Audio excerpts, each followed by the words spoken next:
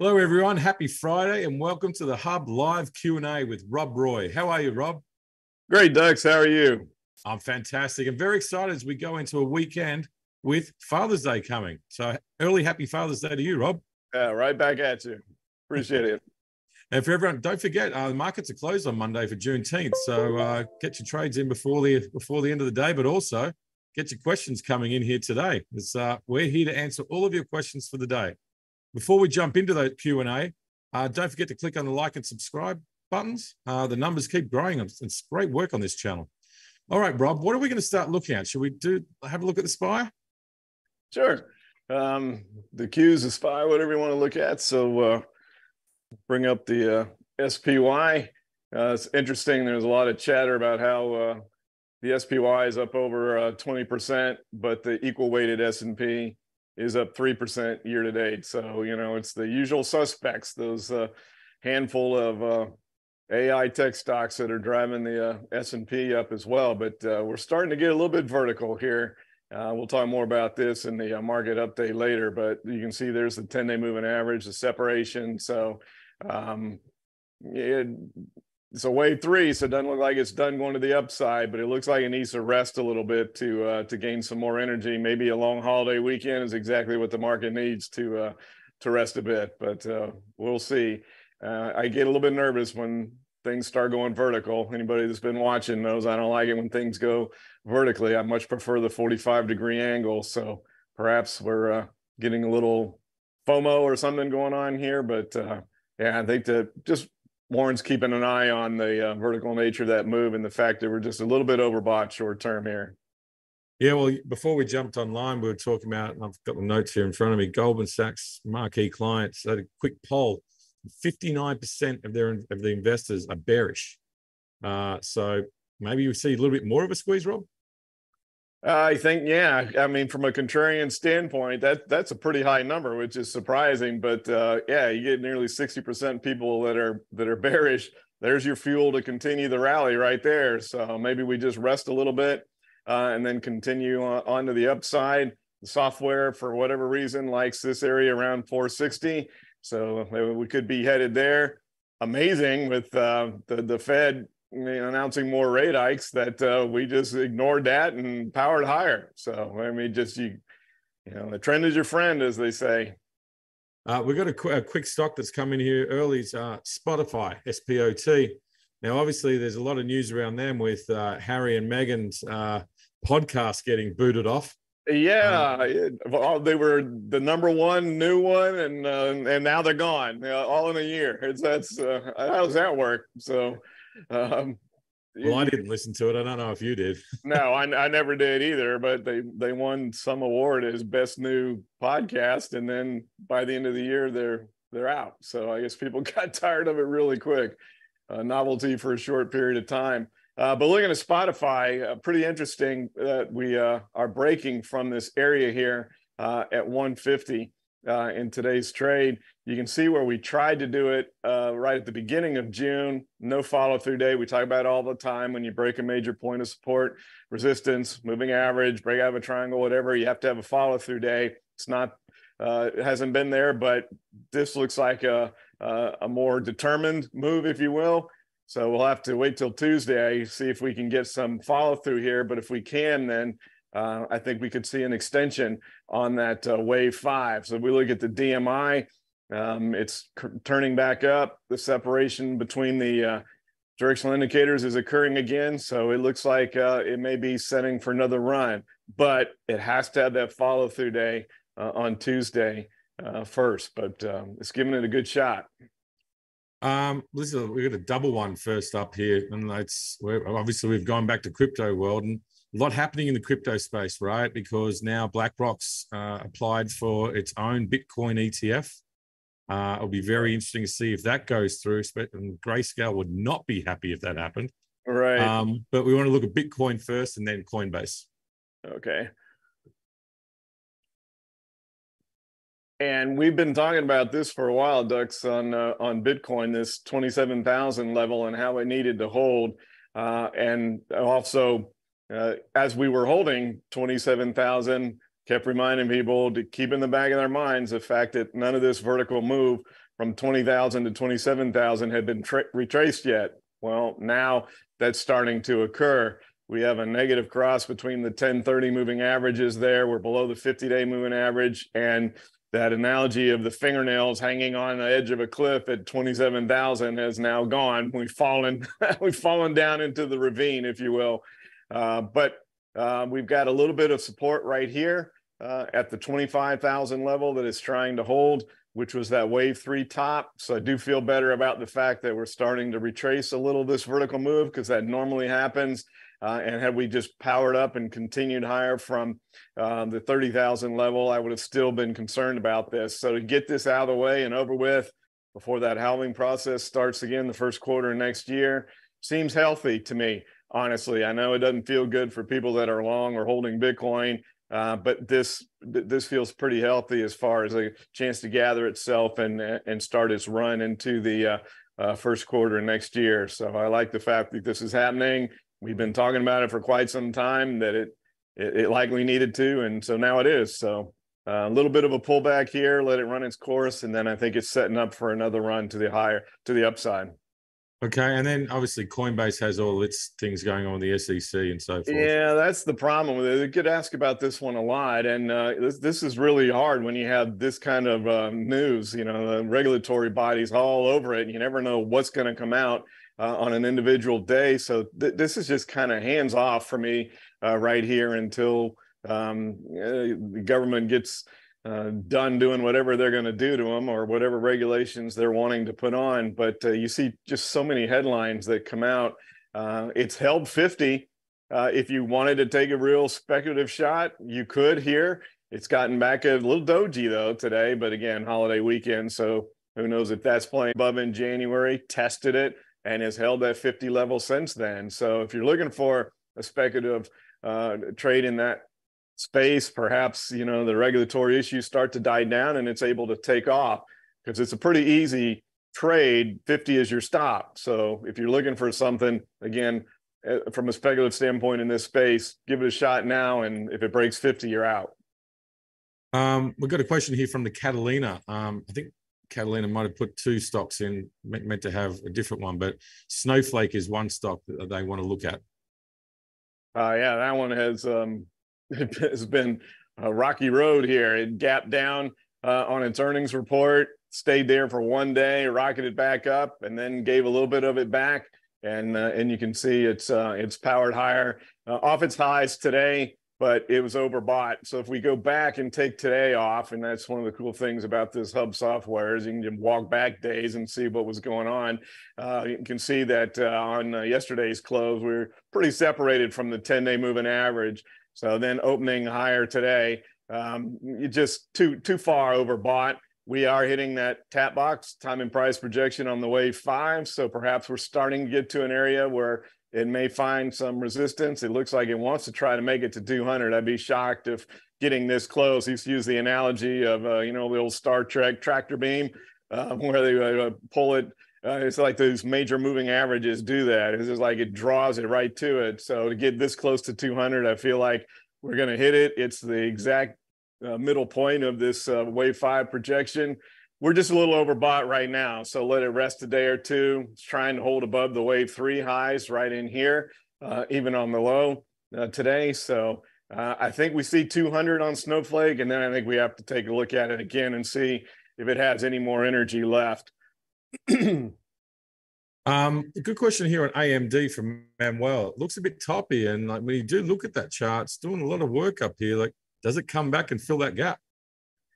Yeah, AMD used to be. I can remember the days when uh, people would ask about AMD every single week during TradeFinder, every every week, just like clockwork, and then kind of gone away. And now it's uh, having a little bit of resurgence here uh, with this move to the upside. Yeah, the gap is uh, is certainly a concern, especially when we have this uh, wave three to the upside here, uh, knocking against resistance there at 130, and then we have um, the support level here uh, at 120. So it's breaking below the 10 day moving average today, which is a concern. So I like I agree with what you're saying. It's looking a little toppy. And I would feel a lot better if it just got it out of the way. Just come fill this gap at 110, come down, test the 50 day moving average, reset itself, and then perhaps we can go higher. However, if you're long AMD right now, I wouldn't get out unless it broke below 120. Uh, give it a chance to hold. It did back in May and June, uh, the beginning of June. So give it another chance to see if it can hold this 120 level. So I wouldn't bail yet if I was long, but I wouldn't enter a long position right now either uh, to see if it does hold 120. If it does hold it and it bounces back, then uh, you can look to enter then. Um, but yeah, the, the gap is that's a concern uh, at this point right now to see if it uh, doesn't want to come fill that first. So yeah, that, that's a tougher one. Um, another great question here from Manuel, and probably, probably spent a lot bit of time on this one. Um, aren't closely tracking Tesla, but Cathie Wood sold all their Tesla this week. Uh, how does that correlation going to go going ahead? I I don't know. Did did, did you see uh, where she came out and said Bitcoin's going to a million? No, yeah, uh, yeah. She also said that by 2030, Bitcoin will be at a million. So, um, you know, I guess she's taking the money and run with this big, um, you know, third, uh, and perhaps her position was just too large, and and she needed it to offset other things.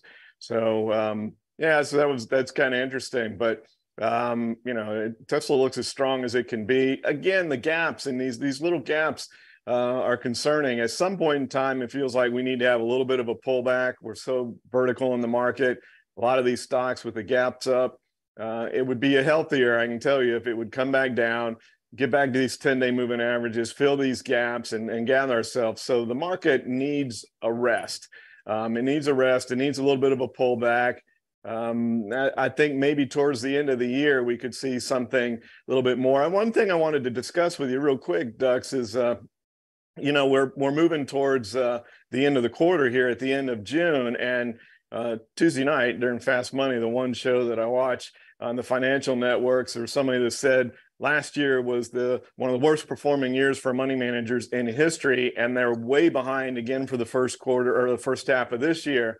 Um, and so you think maybe there may be some performance chasing, you know, end of quarter bonuses for these big investment managers. So um, I guess my point here is that I do feel the market needs to rest, but I'm not sure it's going to do it between now and the end of June.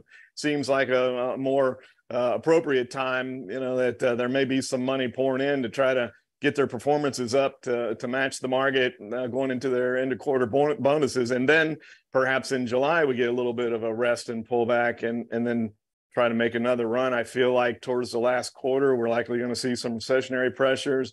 Uh, and then that's when the whole thing could come to an end. But man, those are just uh, outlines of what could happen. Just a thought I wanted to share with you about the uh, end of quarter. Um, can we have a look at the ARK chart uh, for Manuel? Yeah. Uh, does he want ARKK? Is that the one? Yeah, ARKK. Yeah. Okay. Um, and you can see that um, you know she's probably feeling a bit better right now uh, with the uh, move back to the upside, but not quite. You know when she was being ballyhooed all over the place, so still down considerably. Um, so that's that's why it's kind of interesting that she would pick this time uh, to get out of Tesla. That you know it's it's just odd timing to me. I think, uh, and you know her uh, performance here that from a technical standpoint on the uh, ETF is uh, uh, right here at resistance there. So she was there back in February, fell again and came back up. A lot of that driven by Tesla. And then she's going to get out. So, you know, it, it, it's interesting uh, for sure. No five wave pattern going on here. So this is all corrective stuff. So now we see what happens here. Um, and you know it is tied to the performance of the other stocks. So I think you put a little less weight in the technicals here because of the stocks that are involved. Uh, but I would be a little concerned. You, you, take Tesla out of the mix, then what happens? So yeah, we'll we'll see where that goes. But uh, as far as the exact chart here, it's at it's at resistance right now. Uh, another one to look at uh, just came through from the uh, from the Catalina. Uh, she wanted to look at Beyond Meat, BYND. Yeah, we had a um, a real nice um, sideways trade butterfly uh, on this, and um, uh, it ran up, and the fact that it held ten uh, is really key. Uh, but you know these ridiculous valuations that it had back in in COVID, you know, where um, everybody's going to start buying, uh, you know, uh, vegetable-based meats. It's not, you know, a healthier choice, alternative to meat, all that kind of stuff. Uh, clearly had some insane valuations back then. It's come back down to earth here. Uh, but there is some institutional ownership here, and they stepped in at 10, as you can see. And why we talk about this stuff, right, Ducks, is uh, it matters um, because if the stock breaks below 10, uh, growth minded or growth investment objective mutual funds institutions they have to sell and they don't want to do that because then that means they're going to realize these big old losses here uh, and that goes into their performance so they'd rather just come in and support it uh, keep it going see if they can generate some sort of a short covering rally whatever but it is interesting right now so good good timing on the question uh, catalina because uh, we've got a little bit of a triangle here it's a small one uh, but it is a, a, triangle nonetheless right here at 13. Uh, so the mouth of it's a couple points wide. So you're going to get a breakout on uh, BYND probably next week by the looks of this. A couple point move um, could be up or down. And you can see if it comes to the downside, it may be coming to test 10 again. Uh, but if it breaks to the upside, then it's got some resistance right here around 16. So yeah, two or three point move. So is it 16? Is it 10? you, you don't know on a triangle, but uh, yeah, um, pretty interesting time to take a look at that chart. So uh, a good one. Strangle and Strangle looks good to me on this one right now. I was thinking exactly the same thing. Um, yeah. Don't forget to keep those questions coming in. There are some great questions coming through. The next one we're going to look at is Meta, and it looks like it's closing a gap from February 2022, and that's from Manuel again. Yeah, gosh, they've been um, really talking about um, that and this I, I, was thinking that maybe they because i know they did a lot of cost cutting they laid a lot of people off they're getting their uh, balance sheet in line et cetera um, but i thought the whole reason they did this was because they were going to continue to spend on the metaverse but apparently they've backed off on yeah. that uh, and the fact that they've backed off on that has, you know, given the stock. Look at these gaps. I, I, don't know how you chase this one here. It isn't a wave three. Got a little doji today, so I think we're going to see this a lot with the holiday weekend. Ducks is you're going to see a lot of charts that you know just kind of square positions here going into the holiday weekend. Three days. Who knows what can happen? You know, in this environment that we have. Um, but that's that's the kind of move you want to see. That's what I like the 45 degree angle moves. So this looks really strong to me. Um, and I, again, don't like the gaps, but when you've got that kind of a move, uh, and then you look at the uh, the DMI and the ADX, when it just hangs out like that, it, it's continued strength. Uh, and until it breaks back below 40, um, but the, you know these two directional indicators are separating again. There's more buying pressure coming in. Um, so it, when when you see a, a chart like that, it probably runs until you get one of those vertical moves, which is the uh, you know the, the, the FOMO thing comes in and the uh, um, the uh, um, blow off top type of scenarios that occur when people begin to chase it. But right now, it's just under accumulation. Uh, that's when you get these little bars and you go in a 45 degree angle. Institutions are accumulating it, and so they like what they see with the with the business uh, model that uh, Mr. Zuckerberg's doing. So um, I, you know, it, it, could continue higher. It, it, looks really, it looks as strong as it can be. So where, where does it go? That's the difficult thing in a wave three is how far, because it doesn't even really have zigzag patterns. I mean, it is such in a 45 degree angle. That's really impressive. Uh, one I missed from earlier, and apologies for this. Uh, Oracle, they actually reported back on Monday, and they were good numbers. It's a great dividend paying stock too uh, oracles they, they, just print money don't they i mean yeah. uh, they're, there's something else but you know he, i can't chase this my, my disciplines won't let me do it uh, and so um, you know we had already started vertically here uh, from 100 and then then you know just the insane move uh, on earnings so uh, it's just in the stratosphere for me it's impressive uh, no doubt. Let's see if we take a look at the volume, see what the volume looks like here. Uh, they, you know, that's big, big buying obviously coming in. That's institutional buying to get that kind of uh, uh, volume bars. The retail public doesn't have that kind of strength. So um, it, I, I, don't think that we give a whole lot of this back, but I can't chase it right now. Not that far from the 10 day moving average, not that vertical of a move I would love to see it come back and consolidate somewhere around in here. I don't know that it needs to come all the way down and fill the gap, but you know that'll be in the back of your mind moving forward. But I don't know that it needs to do that now. But it definitely needs to to back off a little bit here, uh, do some backing and filling on this uh, impressive move. Uh, but with that kind of institutional buying coming in, uh, I think a good part of the move holds, probably consolidates for a while, and then maybe you get another run. But I I just couldn't chase that move. But uh, it is pretty cool to see uh, Oracle that you know it doesn't really seem to get exciting moves uh, lately to to do something like that. It also tells you the kind of market we're in, doesn't it? I mean, it just some of these moves are so exaggerated that uh, it, that's got to be in the back of your mind too. That all this stuff's going to come back down to earth at some point. Well, it's like for a quick sidebar. I'm not sure if you saw this IPO yesterday, Cava, C A V A. Yep. I did. I watched that, and that it, yeah, yeah, that's a perfect example. Wasn't that nuts? Um, you know, it went. It was at 19 to 21, then it went 31 to 33, and what it opened up in the 40s or something like that. And uh, yeah, uh, you know, those and those, those investment bankers were like, "Damn it!" You know, they left all that money on the table. Um, so um, yeah, so I don't, I don't know how uh, excited Cava was. I forget who the uh, underwriter was, but it was uh, J.P. Morgan was it JP Morgan?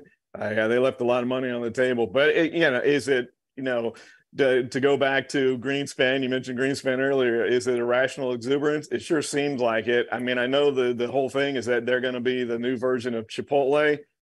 I don't think so. Um, based on what I've looked at, but who knows? You know, I, who knows? You know, they're playing to that 21 to 25 year old generation, and uh, yeah, you know, maybe it takes off. I don't know, but it did that valuation seemed awfully rich. Yeah. Uh, and um, I, I, don't know that it can hold that, but yeah, very yeah, interesting it's, story. It's hard to get some technical analysis on something's been trading for two days. right. Yeah. Yeah. I mean, it, it, what what is the symbol Cava? I don't even. I yeah, C A V A. Yeah. So I mean, yeah, it's, so it's we, down nearly four bucks today. Yeah. See, I mean, there's no technicals on, on that, but uh, when you were when you're looking, see, it's already coming back down, but uh, it was the last price I had seen before it opened was 31 or 29 to 31. Uh, and then you can see where it opened uh, way up here, right at what 42 or three, which yeah. is which is nuts. And so for people that aren't familiar with how underwriting works, uh, they they do their best because the idea is that you you can you you match the desire the um, uh, interest. Uh, the demand is the word I was looking for. So you try to set the price when you open it exactly where the demand, uh, supply and demand would be, uh, and then the underwriter and the company make the most most money when that occurs. Uh, but when you price it at 31 and then it opens at you know 45 or whatever, that difference in that spread is all money that the underwriters could have made, and you know I'm whatever agreement they have with the company. So that's why I'm saying a lot of money was left on the table. So the people that bought in uh, with the uh, IPO price were loving it and they i don't know if they don't have a lockup period or what if they're bailing already today or if that was it for the demand who knows but uh, usually when you do that you got a you got a lockup period and you can't um, you can't sell immediately. So i don't know. I don't know the details of that underwriting agreement but anyway. Yeah it's usually 90 to 180 days um, but uh, yeah. Uh, yeah it priced at $21 so anyone who got stock at $21 is a happy camper. Oh gosh. It wouldn't even lower than than uh, last i'd seen before it came out. So yeah. Well yep um, all right, so we could talk about that for a while, but let's move on. More of these questions. Sorry, everyone, but uh, but this actually I, I, spoke about this stock a few weeks ago on another show. SMCI, very interesting chart. Super microcomputer. Uh, so let me ask you about this one on, on TradeFinder too, and it's uh, it's not you know something that I've been that familiar with, but uh, uh, heck of a move there here we go again, Ducks. I mean, uh, can we find a chart without a gap? I mean, for real, um, it's just amazing. So uh, those those gaps will get filled someday, but it may be way into the future before that occurs. It has broken back below the 10-day moving average today, so some of this vertical stuff is coming back. And this is a good example of what I'm talking about with these vertical moves. They just don't hold. Uh, so when you don't chase these vertical moves, let it come back, let it consolidate some of it. Let's see if it can hold 220 because there's support right there from the last vertical move that it had. So it ran up and then held there and then went vertically again. Let's see if it can hold 220 and then perhaps uh, something can happen from that point. Uh, again, it looks pretty strong. I don't know that we need to, uh, well, the ADX is starting to work its way back down. This one may be running its course. Um, so if you're long, um, keep a close eye on that 220 level. If it breaks that, then you, you got to run for the hills and get out quick.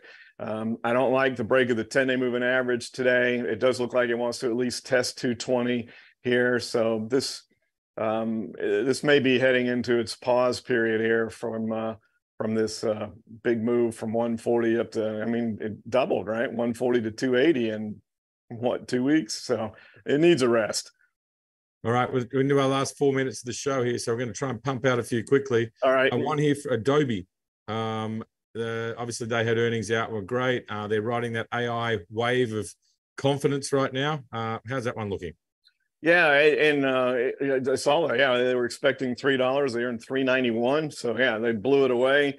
Uh, saw that after hours, but it, you know, the interesting thing, it, it, ran up in earnings like everybody expected it. So there must have been some sort of a whisper along the line. So it runs vertically up, and then um, beats earnings and goes higher again, but it just look it opened at ridiculous levels, 520, way above the 10-day moving average. So more of this vertical stuff, way over the 10-day moving average. It's way overbought.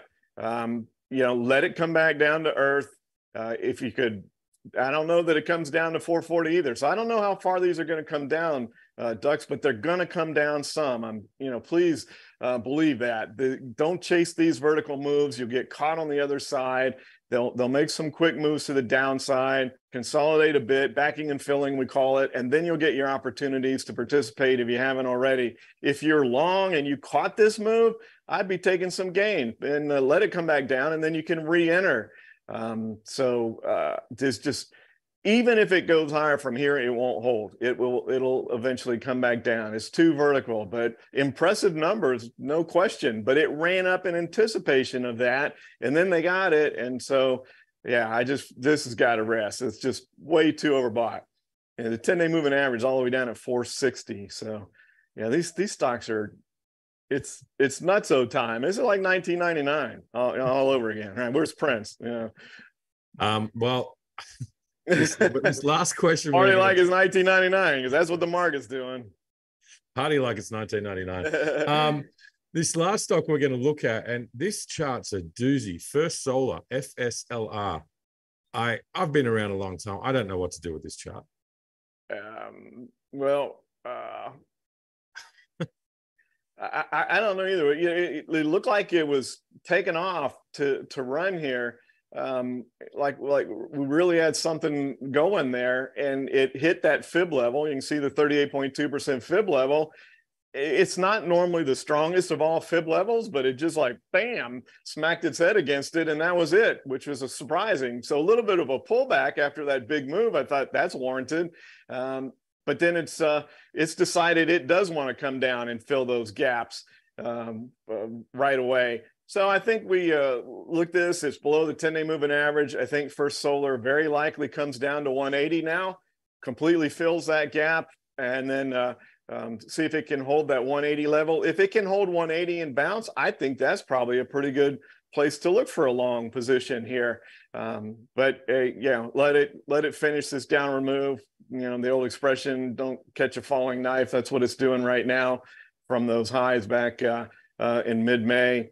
So it does. It seems like it wants to test 180. Let's see if it can hold it. There's some support there, and then you know maybe we have a a shot at it then. But yeah, that's you know sideways, sideways, sideways, gap down, gap back up, island reversal, and then back to bizarre price movements going on in that one. I, I, I hear you.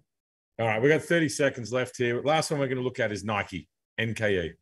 Yeah, uh, good old Nike. You know the retail side of things has been, um, you know, it's been difficult uh, with uh, um, the the chosen few are doing really well and the rest are, are struggling. But um, Nike's come back.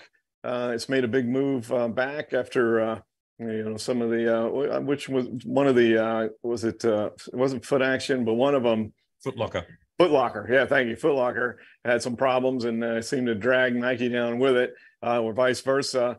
Uh, but we held 105, which was an area that it, it had some support uh, and it held it. And so we're now back up, but we're testing an area of resistance. So it was support back in December. It was support back in March. It tried to hold as support in May, but it broke below it, came down tested this support level, but now 115's resistance. Old support becomes new resistance. It's a bit above the 10 day moving average. So this is a pretty easy one, I think. If it can break above 115 with follow through, I think you're going to see it run back to that 125 level. But it's got to do it first. Don't don't do anything with this now. Uh, it, it, could back and fill a little bit, even back to 110, where the 10 day moving average is. Uh, you're going to look have some sort of a doji here as well. So let it break above 115 with a follow through day. Then I think you get a move to 125, but um, it, it, could back off a little bit here. Um, so that's this, this chart is a little more defined as far as you know where your stops would be, et cetera. But uh, it's good to see it bouncing back to the upside after a pretty vertical move lower. And that's the you know last thing is vertical moves work both directions, and we we've been looking at a lot of vertical moves to the upside. You get a vertical move to the downside, those get retraced too. So um, that's what's going on now. So really, that's a good chart finish on Ducks. Listen, Rob, thank you so much for your time. Thank you everyone for your questions. Some great stocks to look at this week. We'll be back Friday next week, 2 p.m. Eastern Standard Time. Uh, make sure you tune in and tell all your friends and family to tune in as well. Rob, yeah, you have a great weekend and happy Father's Day, mate. Happy Father's Day to you too, Ducks, and happy Father's Day to, to all the dads out there that are watching and enjoying this these live Q and A's. It's a lot of fun. Take care, everybody.